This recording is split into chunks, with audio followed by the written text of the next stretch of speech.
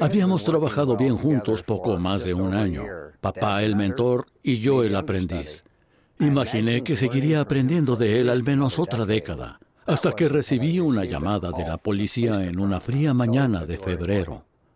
Papá, de 67 años de edad, había sido encontrado sobre el volante de su auto víctima de un aparente ataque al corazón. Característico de mi trabajador padre, iba camino a su trabajo.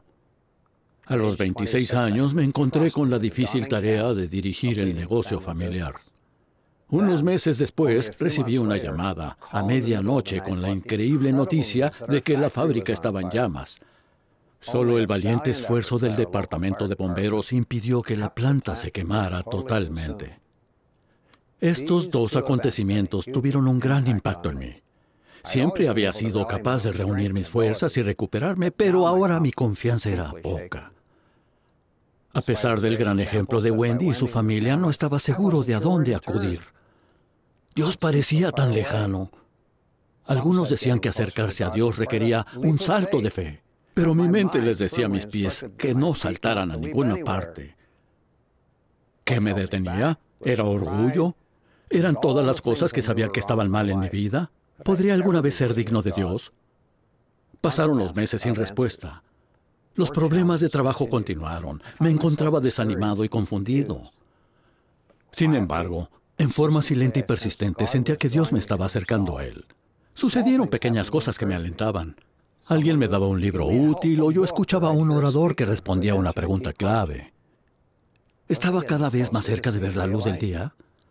El avance vino cuando finalmente comprendí que solo había un camino a seguir y que ciertamente requería de un paso de fe.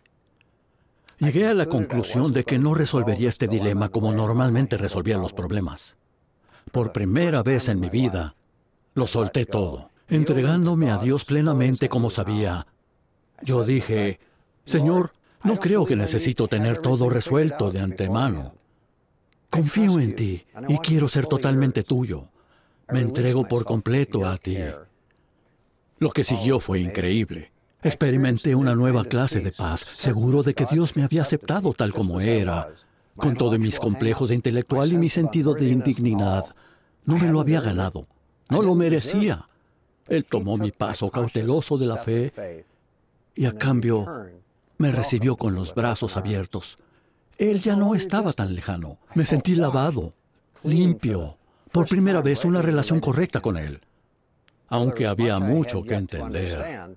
Estaba convencido de que por fin había llegado a casa. Al mirar hacia el pasado pude ver un claro patrón.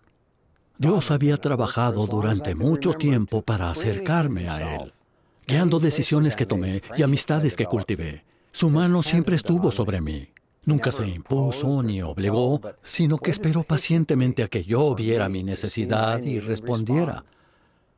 Mi mundo cambió Pronto quedó claro que esta nueva relación iría más allá de mi vida personal y familiar en todos los ámbitos, incluyendo mi trabajo. Para mi sorpresa descubrí que podía integrar los domingos en los lunes con gran beneficio para ambos. Esa práctica de casi 30 años ya ha reformado el enfoque de nuestra empresa desde la relación y atención a nuestros clientes, el manejo de las finanzas, hasta la reorganización de nuestros valores fundamentales.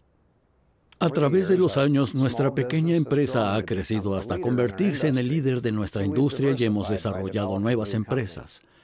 Ahora empleamos más de 650 personas y estamos generando más de 100 millones de dólares en ventas.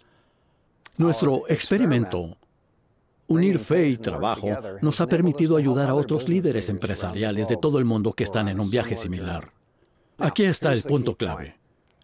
Aunque no tenía idea de cómo cambiaría mi vida, ese paso de fe, cuando me entregué a Dios y su cuidado, fue un punto decisivo con inmensas implicaciones.